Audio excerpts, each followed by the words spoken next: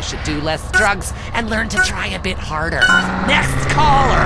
Hi, my name is Colleen, and my husband has a topiary problem. Ooh, this sounds serious. Well, he started off small scale, just recreational usage, you know, doing horses and tacos, yeah, unicorn, but it's kind of gotten out of control. How so? He just can't stop. I mean, people think it's all fun and games, but what happens when the party stops? What happens then? Okay, just just hold the phone. Hold the phone and get a grip, okay? At my house, when the party stops, we pay the gift, get rid of the sailors, and 15 men start crying in his. Well, that's your business. My husband reached bottom. It's terrible. Giraffes, lions, elephants, rhinos, all of them carved out of hedges. Penguins, dogs, velociraptors, you name it, he's made a leafy version. What could be more natural than a man trimming a hedge into the shape of a Dumbass, Mort! Very therapeutic.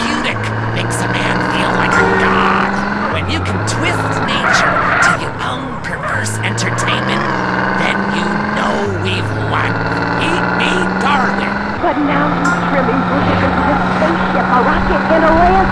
He runs around with hedge clippers and screams, trim that bush, get our neighbors.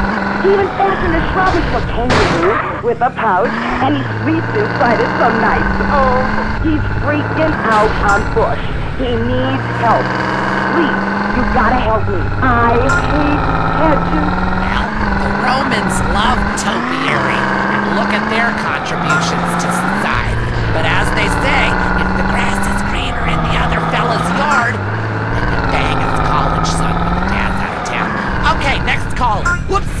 on a second, I'm blossoming.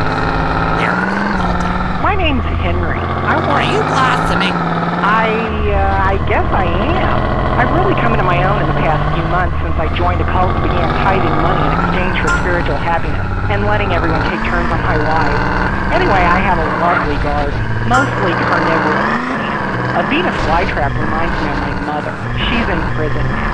Anyway, it's so fascinating how it catches animals and eats them. And now mine can follow a whole squirrel. Or a small horse if I chop it in half.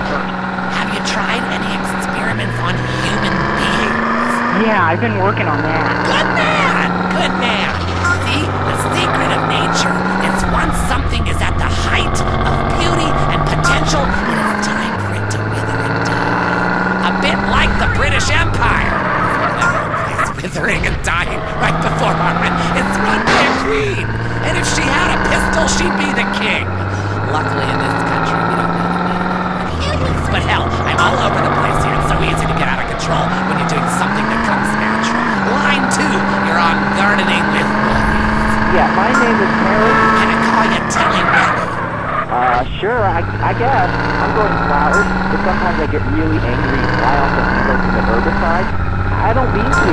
I said, I didn't mean it, baby. You'll be all right. Then I cry and wear a diaper for two days.